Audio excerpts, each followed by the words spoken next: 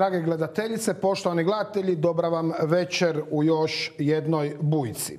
Na početku odmah jedna samo privremena isprika vjernim gledateljima bujice zbog e, nekakvih, možemo reći, i dobrih vijesti iz Ljubljane odlučili smo u dogovoru sa timom Marka Perkovića Thompsona večerašnje gostovanje najpopularnijeg hrvatskog pjevača pomaknuti iza koncerta u Mariboru koji bi se prema našim ekskluzivnim informacijama ipak mogao održati za otprilike dva tjedna u Mariboru na možda čak i većoj lokaciji, lokaciji u dvorani koja prima i više ljudi zbog povećanog interesa. Naprosto kada smo čuli tu poruku nade, mogli bismo reći, e, zbog e, interesa fanova, a i svih gledatelja Bujice, odlučili smo da nije primjereno dolijevati ulje na vatru i da je ipak najvažnije da naš dragi prijatelj Marko Perković Thompson održi koncert u Mariboru, a večeras ćemo e, imati nekoliko ekskluziva.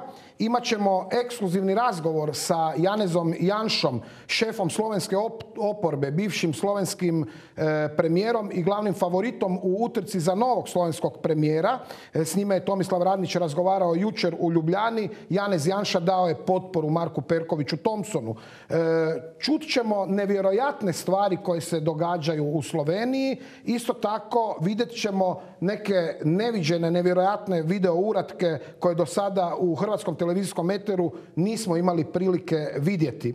E, sve to u studiju Bujice komentirat će zajedno s nama naš dragi gost, hrvatski prijatelj, vodeći slovenski istraživač zločina UDBE Roman Leljak. E, gospodine Leljak, poštovanje, dobrodošli u Bujicu. Evo, hvala lijepa. I meni je izuzetno drago što sam večeras tu, ali više bi volio da se pripremam za koncert Thompsona. Ali eto, 90. godine napravili smo grešku. Nismo ostavili komunistima da se, da se hrane od svog rada. Mi ih hranimo i danas smo tu gdje smo. Dobro. E, u svakom slučaju i Leljak ima zanimljive informacije o pozadini e, trenutačne zabrane Thompsonovog koncerta u Mariboru. A sada idemo na uvodni prilog gdje imamo ekskluzivnu izjavu iz Ljubljane Branka Grimsa, predsjednika parlamentarnog odbora za kontrolu obavještajnih i sigurnosnih službi Slovenije. Naime, taj je odbor zasjedao i zaključio, što se danas također mogli čuti iz priopćenja Hrvatskog Helsinškog odbora da nije bilo razloga za zabranu Thompsonovog koncerta, da je sve skupa protuustavno i da je policijska odluka policijskog vrha u Mariboru rezultat političkih pritisaka. Pogledajte uvodni prilog.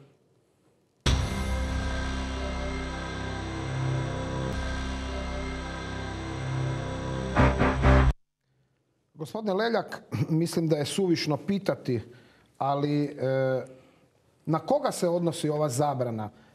E, ja sam danas razgovarao sa glavnim menadžerem Marka Perkovića Thompsona e, koji mi je rekao da je u Hrvatskoj prodano samo sedam karata. Nešto sitno u Austriji. Dakle, sve ostale karte za dvoranu koja prima 1200 ljudi, a da je primala i pet, bila bi unaprijed rasprodana, sve su kupili Slovenci. E, zašto Slovenci, zašto slovenska publika voli Thompsona? Pa evo, meni je veoma teško i govoriti o tome. Iz ovoga se vidi da je domoljublje veoma jako i u Sloveniji. A u Sloveniji je trebao doći čovjek koji živi za domoljublje, svoje domoljublje, koji poštuje svoje domoljublje. Uz poštovanje svoje domoljublja poštuje i slovensko domoljublje. Nikad Marko nikad nije ni jednu pogodnu riječ rekao Slovencima. A u ovom prilogu smo vidjeli mnoge koji u Sloveniji ne samo da pjevaju, nego u Sloveniji žive. Tako Bora Đorđević već nekoliko godina živi u Mariboru. Tamo se zaljubio i tamo sada živi. Ljubljana ili Maribor? Mislim da u Mariboru. Dobro. Nije ni bitno Nije na, kraju, na kraju. Đorđe Belašević, Belašević, eto, on ima čak i slovensko državljanstvo. Ima slovensku penziju. A 90. godine u Slovencima je ovako pjevao. E, a zabraniti dolazi k čovjeku koji je stvarno, stvarno u svih ovih 20 i nekoliko godina koji nastupa u Hrvatskoj pjevao samo u domoljubu, u porodici, u Bogu, u ljubavi do svega toga. To je teško pada svakome ko razumije i voli život i voli neko razumijevanje ne samo između dvije države, nego i u porodici i u svemu. E, ja sam potpuno siguran i siguran sam da će Thompson doći u Sloveniji, da neće održati samo jedan koncert, da će biti tih koncerata više, da će Marko pokazati da on ne živi od svih onih floskula što mu žele dati na, na njegov reportar, nego da daje stvarno poruku ono što bi mnogi trebali da daju, a nažalost, evo, ja moram reći da u Sloveniji nemamo tako domoljubnog pjevača. Možda ga imamo, ali zbog onog zla komunizma kojeg se nismo rešili, ti ljudi, ti pjevači nikako da dođu na videlo i da sa njima uživamo u tom domoljublju. U domoljublju se može samo uživati. E, gospodine Leljak, e, dajte mi recite kada je policija slovenska e, zapravo tražila nekakav izgovor za otkazivanje koncerta, za zabranu, oni su se pozivali na neke tobožnje udruge, neke kontrademonstracije. Vi živite blizu Maribora. Što znate o tome? Je li bilo tih najava? Tko je to najavljivao? Pa, samo je jedna udruga iz Kranja ili politička stranka, slovenska socijalistička stranka ili komunistička stranka Slovenije iz Kranja poslala jedan mail policijskoj stanici i, i dala podršku županu e, Mariborskom da će doći sa svih njihovih 200 članova i da će napraviti na dan koncerta probleme u Mariboru. To je marginalna skupina. To je znači. jedna marginalna skupina koja nema uopće nekog vredovanja kao takvo. To su anarhisti koji sebe nazivaju socijalistima, komunistima, a sve im je za cilj da bi što manje radili i što više uživali. A to nam govori, eto, da policija nije imala pravih rezultata i da ona prikazuje potpuno neku drugu sliku, da je to neka politička odluka. Ako smem podsjetiti da smo 13. svibnja imali u e, Blajburgu jednu veliku komemoraciju na kome je bilo i više od 15 tisuća ljudi. Malo ljudi zna, a možda i niko, da je tog istog dana na drugoj stranici granice, na Poljani, tamo gdje je Poljana, to je u, e, kod Holmca, e, bila jedna partizanska priredba. Da je došlo oko 300 Slovenaca koji su se sjetili 15. svibnja kada je pripadnici 14. divizije slovenske 14. divizije i 11. dalmatinske udarne brigade na toj poljani poubijalo ne znamo, ne znamo koliki broj Hrvata i drugih pripadnika narodnosti koji su tada se već predali i željeli otići samo u pravcu Blajburga. Oni su to slavili tada? To se slavi svake godine. Za taj događaj, za tog dana, slovenska i austrijska policija su se čak dogovorili i prelaz Holmec kod Blajburga je bio zatvoren. Od ujutro od šest pa navečer do šest sati. Zašto? Međunarodni Samo da ne bi došlo do kontakta između e, hrvatskih e, hodočasnika koji su bili na Blajburgu i partizana koji su imali svoju priredbu sve skupa. Znači, oni su organizirali, znali su kako organizirati i onda su se uplašili u, Mariboru 29 e, karata što su bili prodane ili u Puli ili u Gracu gdje su bili zabranjeni koncerti.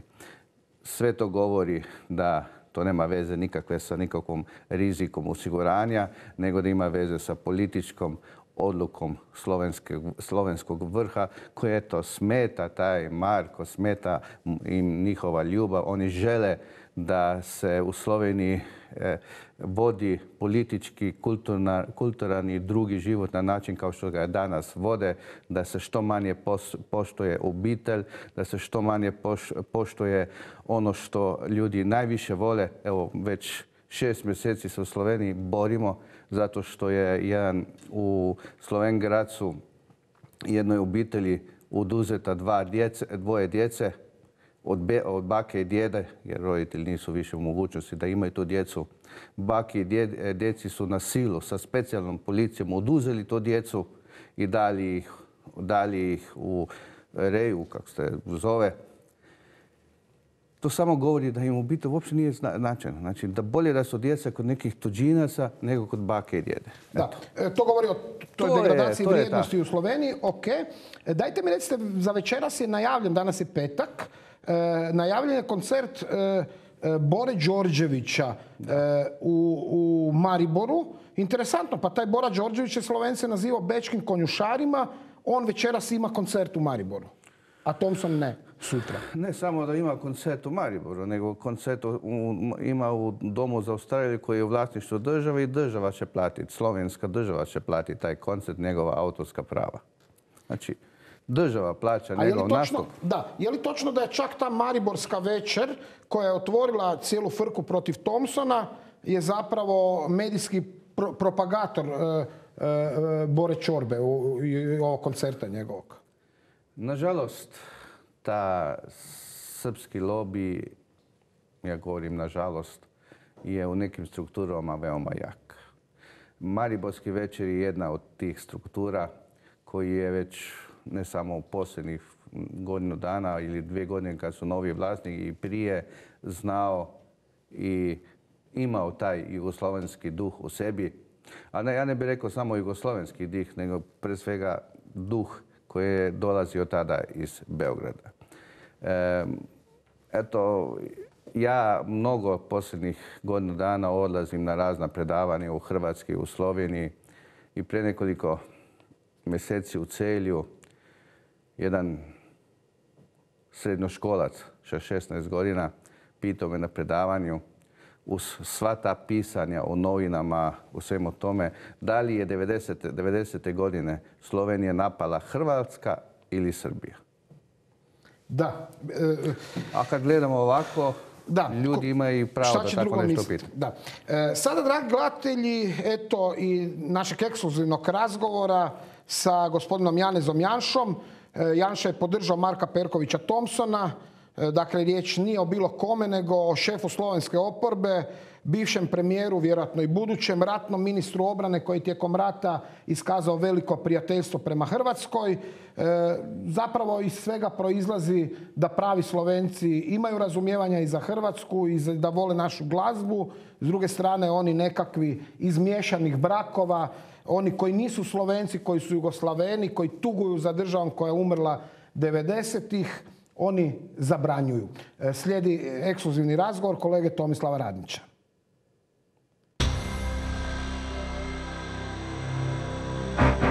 Vaš komentar na zabranu e, koncerta Marka Perkovića Thompsona koji se sada u subotu trebao održati u Mariboru. Evo što vi kažete na to? Torej gre za škandal, ki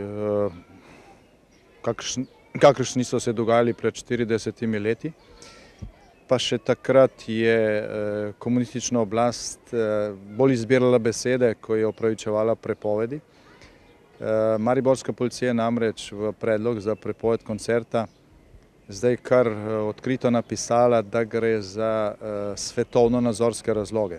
Se pravi, policija se je, del policije se je tukaj opredelil politično. Se pravi, z, z nekim besednjakom, ki so se mu izogibali celo v času komunizma, so zdaj upravičili predlog za prepoved koncerta. To je bilo biti moje pitanje. Dakle, bilo je političkih pritisaka, evo koliko mi isto saznajemo, na policiju da se izda to nekakvo priopćenje da oni ne mogu osigurati koncert, ne mogu garantirati sigurnost. Torej, bili so pritiski, ti pritiski so bili javni. Že pred dnevi je predsednik državnega zbora E, to je drugi funkcionar po ustavi v, v državi, e, Milan Brgles, javno e, terjal prepoved koncerta. Negativno so se o koncertu potem izrazili tudi številni drugi vladni oziroma oblastni funkcionari, od predsednika države do predsednika vlade. Eh, čeprav so bolj izbirali besede, so se negativno izrazili do stališč eh, Marka Perkoviča Thompsona čeprav se iz teh izjav videlo, da jih niti ne poznajo. Ne. Slovenska javnost je v veliki meri pod tisom neke radikalne propagande, čež da gre tukaj za uširjenje ustaške ideologije in tako naprej. In šele zdaj, ko je bilo objavljenih nekaj intervjujev z gospodom Perkovičem, je del slovenske javnosti spoznal, da je šlo za zavajanje. Zaradi tega še vedno obstaja neka ne velika, ampak še vseeno upoštevanje vredna verjetnost, da na koncu ta prepoved ne bo obveljala. Če bo pa obveljala, pa v Sloveniji ne bo potem pravne osnove za nobeno partizansko proslavo več. Recite mi, recimo bivši mariborski gradonačelnik je u biti podržao u biti za koncert, a sadašnji gradonačelnik se protivi koncerta. Evo kako to komentirate? No, zanimiv je sedanji mariborski župan gospod Fištravec, ki je na zadnji pustni paradi nosil nacistično uniformo in je bil zaradi tega tudi, bom rekel, upravičeno kritiziran. Tukaj pa neke kvazi svetovnonazorske razloge navaja v prid prepovedi glasbenega dogodka, ne, sicer pa o trenutnem mariborskem županu ni, ni vredno izgubljati besed. Ni v čast niti Mariboru, niti Sloveniji. Vi ste, evo, koliko sam je čitao i izjavu ste dali, dakle, i sa, sa svojom suprugom planirali otići na koncert u Maribor. Evo, zašto i što za vas znači Marko Perković Toms? Uh, jaz sem se za, za uh, ta korak, da uh, poiščem stopnico za koncert, odločil iz protesta, iz inata.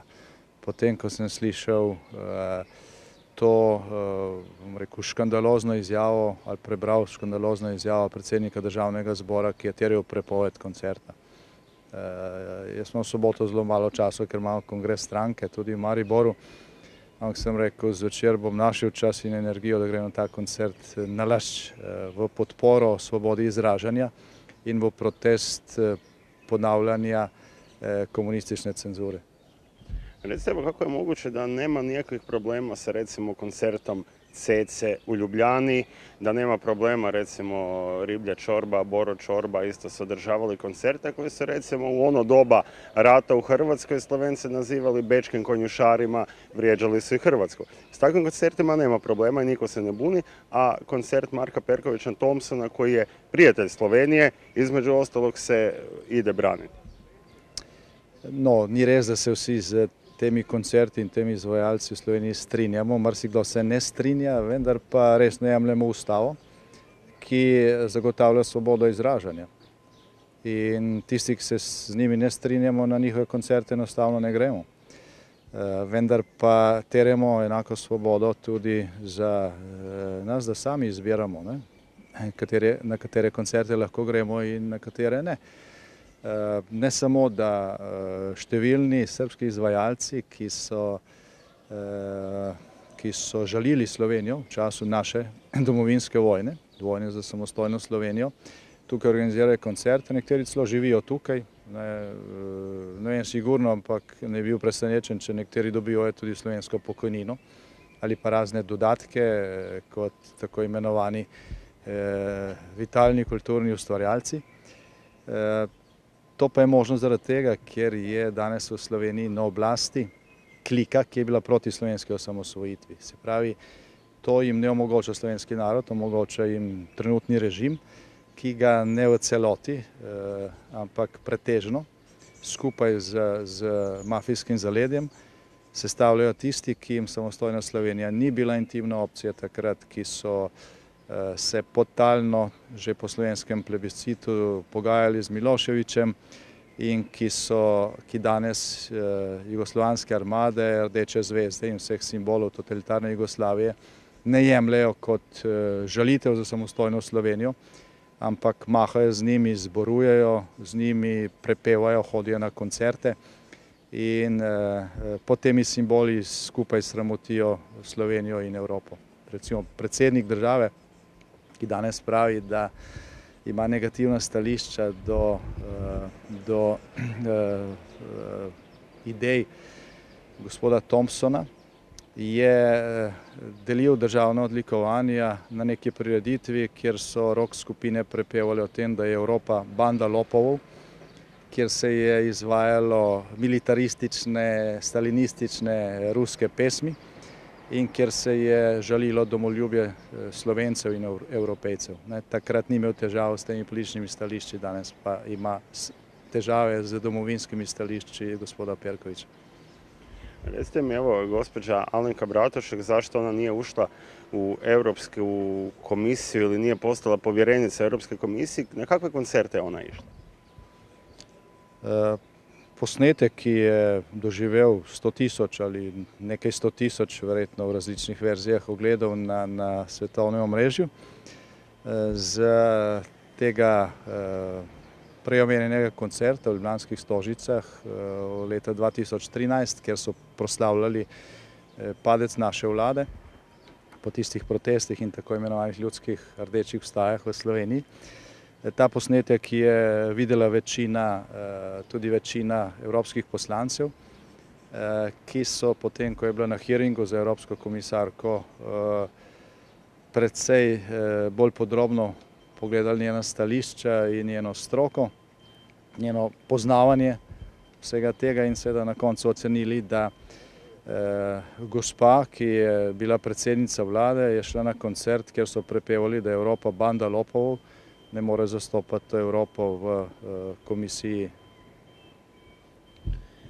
Jedno pitanje, evo sad dosta smo govorili o vašim političarima. Što vi mislite o našim političarima? Jesu se trebali ovdje zauzeti za dakle, pjevača, za Thompsona, da se taj koncert ipak održi ili da se jednostavno ne dopusti takva hajka na njega kako je doživio evo ovdje sada u Sloveniji od tih vaših političara. Dakle, jesu li naši trebali ovo, pogotovo aktualna vlast u Zagrebu, jesu li trebali nešto učiniti više?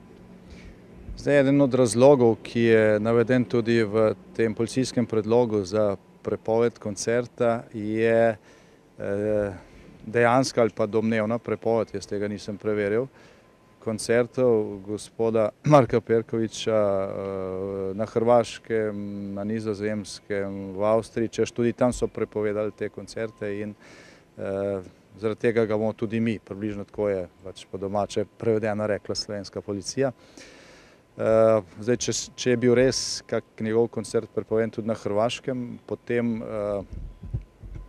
bi bila ta politična ali pa diplomatska akcija strani vaše oblasti nekoliko hendikepirana, ker bi potem slovenska vlada mirno rekla, pometite pred, pred lastnim pragom. Ne. Jaz mislim, da tako v Sloveniji kot na Hrvaškem pač obstajajo tisti, ki, so, ki še danes žalujejo za Jugoslavijo, ki v domovinski ali pa osamosvojitveni vojni vidijo nekaj, česar si niso želeli in skušajo to na vsak način diskreditirati. Se pravi, svoje izdajstvo bi zdaj opravičevali z tem, da nekomu, ki se je iskreno boril za lastno državo, pripisujejo neka ideološka totalitarna zaledja, ki jih nima, s tem pa skrivajo svoje zaledje. Evo ga, i još jedno pitanje za kraj, u biti ovo što smo razgovarali prije nego što smo uopće krenuli s intervjuom. Evo ovdje je bio odbor za, kako se zove, nacionalnu sigurnost za nadzor službi. Dakle, evo, postoji li mogućnost da se koncert ipak održi, ne sada, ali u neko dogledno vrijeme? Zdaj, po slovenski zakonodaji opozicija vodi posebno parlamentarno komisijo, ki, je, ki ima pristojnosti, da nadzoruje policija in tajne službe, kadar te institucije uporabljajo posebne metode in sredstva za nadzor državljanov. Glede na to, da je predstavnik Mariborske policije zadnje dni na veliko razlagal, kako so pridobili takšne in drugačne podatke, ki povečujejo varnostno tveganje in da zaradi tega predlagajo prepoved koncerta, smo želeli predstavnike policije vprašati, kakšni so ti podatki, kakšne so te grožnje, ali so do tega prišli z uporabo teh posebnih metod in sredstev, prisluškovanj in tako naprej, ali so odkrili kak kamion eksploziva, ki naj bi tam eksplodiral, kakega ekstremnega levičarja, ki bi se iz protesta tam razstrelil. Ugotovili smo, da niso odkrili nič takšnega, dejali so tudi, da niso uporabili teh posebnih metod in sredstev, bi pa jih morali, če je bilo tveganje veliko, seveda. In na ta način so pravzaprav sami eh, razgradili argumentacijo, ki so jo uporabili v tem predlogu. Na koncu je komisija samo z glasovi opozicije eh, ugotovila, da ta varnostna tveganja, na katere se sklicuje eh, Mariborska policija v tem predlogu za prepoved, eh, nimajo, nimajo podlage. Res pa je, da so poslanci vladne koalicije ali eh, manjkali, se pravi, niso prišli na sejo ali pa so sejo pred glasovanjem zapustili. Hvala vam puno.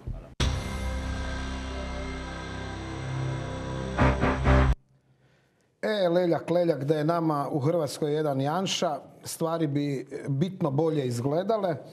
Žao mi je to što on, on uvijek dođe do 35% u Sloveniji, ali onda ovi na prijevaru ne daju mu vladat. Možda se to promijeni, to je sad drugo pitanje. E, on bolje zastupa e, svoje stavove i stavove publike Marka Perkovića Thompsona nego većina političara u Hrvatskoj. Čuli smo u prilogu Hasanbegovića, čuli smo e, jučer i reakciju hrvatske predsjednice koja je razgovarala i imam neke pouzdane informacije sa Pahorom u nekoliko navrata.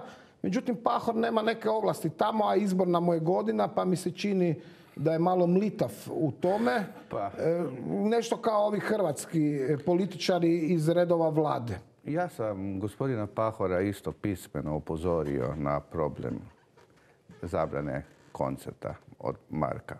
Radi se o tome da sam ga podsjetio da je pred nama turistička sezona, da će nekoliko stotino tisuća e, Slovenaca otići u pravcu Dalmacije, a gdje ima Marko najviše svojih fenova, da će mnogi Slovenci morati, željeli to ne željeli, čuti neku riječ koju možda ne bi čuli i da je stvar predsjednika države da u takvim slučajevima i napravi nešto, da savjetuje sve te državne organe, da ipak ne dođe do takve zabrane koje stvarno nema nikakvog smisla. Nažalost, evo, Borut Pahor, e, on kalkuliše, odlučio se za tu lijevu stranu. Ja se bojim da, će ga to koštati na izboru u jesen, da će ipak ti ljudi koji odlaze na, na te odmor razmišljati malo i reći pa gledaj, ako ostavimo ovakve političare, bi doći vrijeme pa ćemo zabraniti more u Hrvatskoj. Da, e, e, za portal direktno bivši gradonačelnik Maribora koji podržava koncert e, Marka Perkoća Thompsona. Ja sam se čuo, eto, on je upravo na Pagu, na moru u Hrvatskoj. On je i želio doći na koncert, jer se sutra vraća u Maribor. Franz Kangler, on je dakle za portal direktno rekao da je UDBA zabranila Thompsonov koncert. Što vi kažete? Mnogo smo razgovarali o toj jačini udbe i u Sloveniji, u Hrvatsku, baš u, tom, našem tom, studiju. Toliko su još jake te sile koje još uvijek vole taj sistem koji smo ga napustili prije 27 godina, koji bi još uvijek željeli, željeli imati tu Jugoslaviju. Eto, jučer sam čuo kad sam se vraćao iz Rijeke, kad sam uključio slovenski radio, da je neko pokupio sve, u Slovenac pokupio sve jugoslovanske enciklopedije, jer kaže doći će opet stara vremena pa da ih imam pri ruci. Da. E, dajte sad da vidimo šta je to bilo s Alenkom Bratušek. Dragi gledatelji, sad ćete vidjeti jedan video koji televizije u Hrvatskoj nisu puštale, iako je on dostupan i na YouTube-u. E, naime, e, ljevica u Hrvatskoj na čelu sa Josipovićem i Milanovićem tada, oni su bili na čelu Hrvatske države, nažalost, e, oni su ovo skrivali, oni su uzvisivali Alenku Bratušek, ona je trebala postati 2014. godine potpredsjednica Europske komisije. A sada ćete vidjeti jedan video sa jedne proslave od, e, od 27.4.2013. godine zbog kojeg ona nije postala potpredsjednica Europske komisije. E, naime, kompletni ljevičarski državni vrh Slovenije zajedno sa radikalno lijevim pjevačima veličao je komunizam, Tita vrijeđali su Europu, europske vrijednosti i netko se je pobrinuo da to u Europi vide i ona nije nakon toga došla u obzir. Ja a kod Hrvatske je zapravo druga situacija. Kod nas lažno optužuju i vani drukaju one koji poštuju europske vrijednosti i nacionalne tradicionalne vrijednosti, a ljevica u svijet šalje potpuno lažnu sliku o Hrvatskoj. No dobro, da vidimo sad taj film, e, ja sam siguran da će mnoge u Hrvatskoj šokirati, ali i utješiti, jer ćete, dragi Hrvati, vidjeti da ima države u kojoj je komunizam više povampiren nego u Hrvatskoj.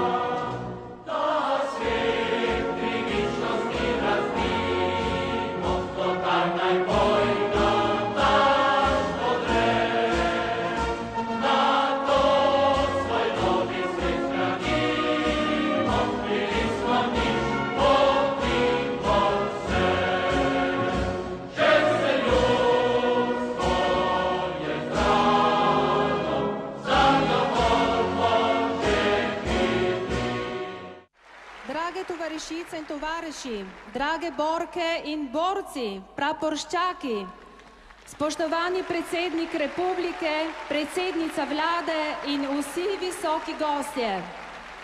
Dobrodošli na našem koncertu za svobodo, za kruh. Na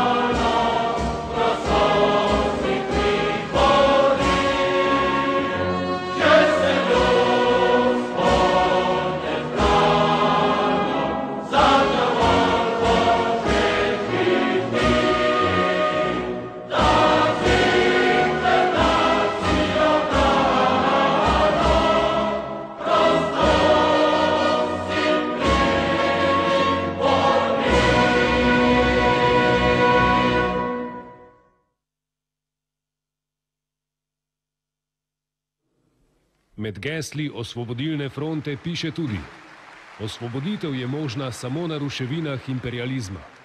Brez boja proti lastni izdajalski kapitalistični gospodi se zatirani narod ne more osvoboditi. Bratstvo in mir med narodi morata biti rezultat boja, ki bo porušil imperializem. 72 let kasneje se za enake vrednote in pravičnejši svet zauzemamo drugače.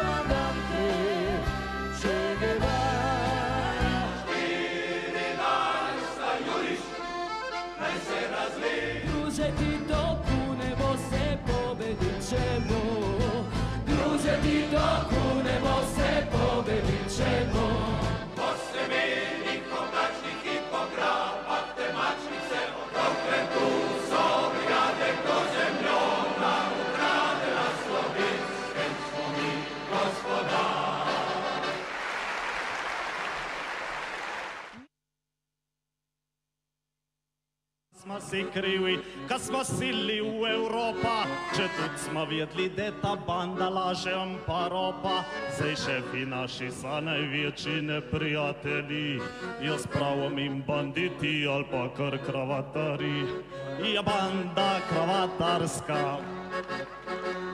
A s njimi vsa Evropa raubarska, Ker je kubimska in nari, pižalu jaz cihane, zato bom jaz straš rekel, kar naj zlomak jih vzame.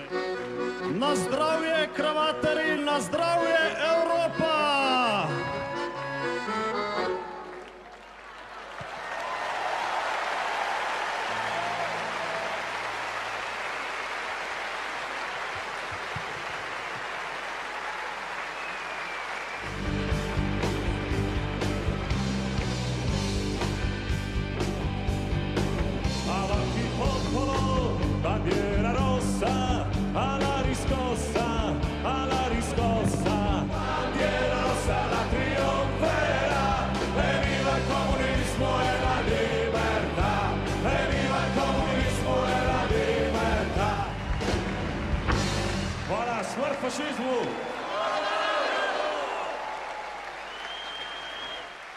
Smo pa tudi nad vse ponosni, ker nam je danes dopolne predsednik republike Borut Pahor uročil odlikovanje Zlati red za zasluge.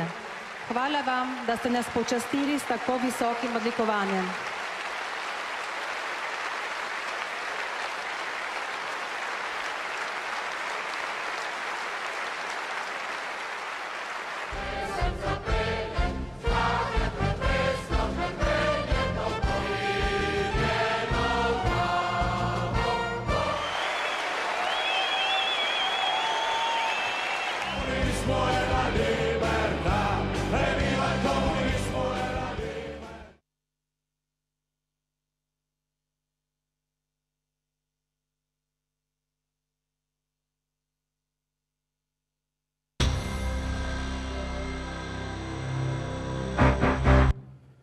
Izgleda da i vi imate svoje Mesiće, svoje Josipoviće, s tom razlikom da je Mesić ipak pjevao za razliku od Thompsona ustaške pjesme kada je trebalo skupljati novac po Australiji.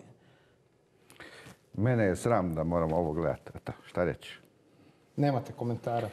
E, Zapravo Mo, ono što je bitno da Hrvati imam- shvate protiv, protiv e, tog koncerta e, nisu bili Slovenci, nego Jugoslaveni i komunisti. Vidimo ovdje, nema slovenskih zastava, nema zastava Europske unije, ima samo komunističkih zastava i komunističkih obilježja. I takvi brane Marku Perkoviću Thompsonu. Što radi crkva u Sloveniji, recite mi? Oni su isto u nezgodnoj poziciji. Ja mislim da su u veoma nezgodnoj poziciji, drže se svog ustavnog poretka, da, da, da su biti odvojeni od same države, pokušavaju na misama ipak e, dijeliti to pozitivni nazor, ali nažalost, kad vidite ovako nešto, onda je to teško i govoriti. I slovensko domoljublje je to. Ako neko u Sloveniji govori o domoljublju, ta vlast, onda zamisli ovako. A mi koji razmišljamo drugačije, koji je domoljublje nešto potpuno drugo, a ne neka ideologija komunistička, fasistička i bilo koja treća, nego da je ideologija život, porodica, obitelj, prijatelj, moja država, Bog, to domoljublje nije dozvoljeno. Ipak Alenka Bratušek nakon ovog filma, nakon ovog koncerta nije e, bila izabrana za potpredsjednicu Europske komisije. Doduše imaju oni prijatelja u Hrvatskoj, ovi svi. I Cerar, i Erjavec, i Bratušek, i Brglez, Svi su oni dobro surađivali i sa Hrvatskom. Kuča, Mesić. Ja moram reći, e, reći da ipak u Sloveniji postoje, evo i u, stranku pozicije i pojedinci koji su tada mnogi, ja osobno sam kad sam čuo taj koncert napravio svoj snimak i slao ga svim parlamentarcima u Europi da vide šta se dešava u Sloveniji. Naprimjer, kad je Turk e, htio biti predsjednik Ujedinjenih nacija, Isto sam njegov komunistički dosije poslao na tisuću mailova i, i nadam se da sam osobno mnogo pomogao da nije bio izabran. I tako. Znači, ipak se nešto radi, ali ovo što je danas hrvatski narod morao da vidi, nažalost, je istina. Ja ne, ne mogu reći da je to samo dio nekog vremena. To se ponavlja dan uz dan i nadam se, nadam se da ćemo stvarno eto, pobediti to zlo. Nadamo se i mi, zato smo zajedno. E, idemo sad e, vidjeti jedan e, predizborni spot propagandni program. E, u njemu ćete vidjeti najveće iznenađenje izbora koji slijede u nedjelju. Danas nismo govorili o izborima, ali u svakom slučaju ovo je spot Brune Esih.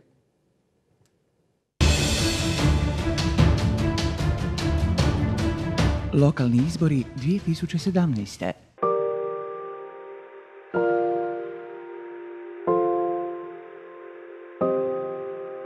Mjesto odrastanja zauvijek te obilježuje.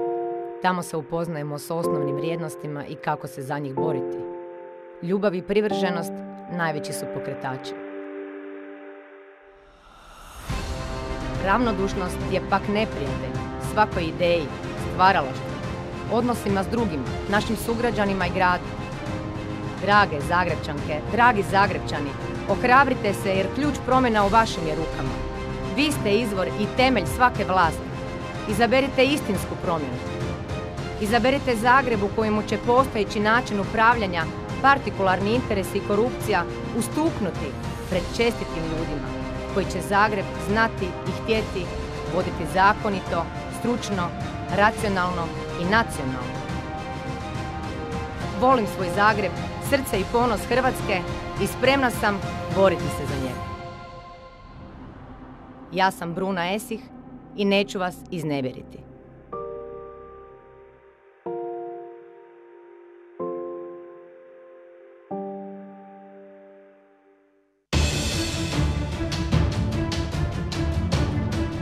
Lokalni izbori 2017. Na kraju emisije, eto, ostalo nam je još pitanje koje nema izravno veze s temom, ali sigurno i vama rade mnoge probleme. Isti oni koji rade i Marku Perkoviću Thompsonu. Što je s ovogodišnjom komemoracijom za žrtve Hude jame? Evo ja moram reći da radovi na isumaciji u Hudoj jami se izvode i ja se nadam da će do kraja godine biti gotovi i da će sve žrtve biti prenesene u Mariboru i tamo pokopane. E, kraj, samog, e, kraj samog Barbara Rova za potrebe eksumacije sada je nastalo nekoliko objekta, zato nismo u mogućnosti da kod samog Barbara Rova u Hudojami ove godine imamo misu i zato je doneta na predsjedništvu udruge Huda jama odluka da ćemo se ove godine pridružiti misi u Kočovskom rogu koji će biti 3. lipnja u 11 sati u Kočovskom rogu. I tamo je desetak i više tisuća Hrvata, pa mislim da će i misa na Kočovskom rogu ipak se sjetiti svih. Tako da pozivam ja sve Hrvate da dođu u Kočevski rok, da tamo se poklonimo žrtvama i da možda i one koji su u Kočevskoj rogu pokopamo kao što smo to u Hudu jami. E, hvala vam lijepa gospodine Leljak na eto vašem trudu. Mi ćemo pratiti to sa Kočevskim rogom. Naše će kamere biti tamo, najavit ćemo, pozvat ćemo ljude. Za kraj, drage gledateljice i poštovani gledatelji, e, Narod se prevariti ne može. To često ponavljam u bujici, a naročito se mlade ne može prevariti. Pa sada eto pogledajmo još i kadrove e, sa Norijade u Zagrebu. E, vidjet ćemo kako maturantice u Zagrebu slave kraj školske godine uz naravno Marka Perkovića Thompsona.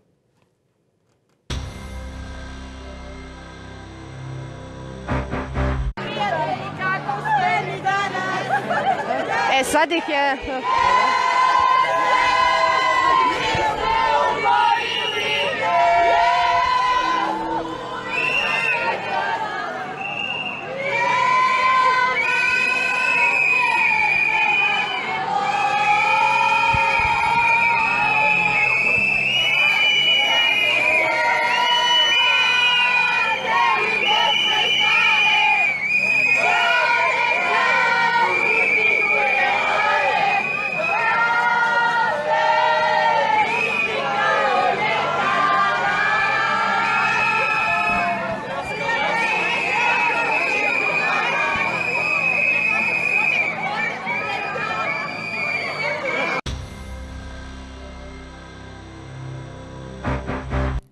Više vremena nemamo. Zahvaljujemo gospodinu Leljaku na gostovanju u Bujci.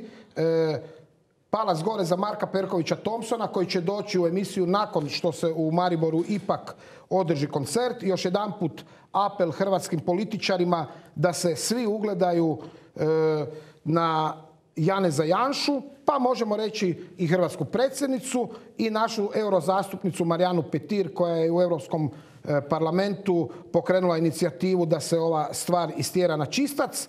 Bojana Glavaševića, razno razne čupavce koji hodaju po Blajburgu nepozvani i tako dalje.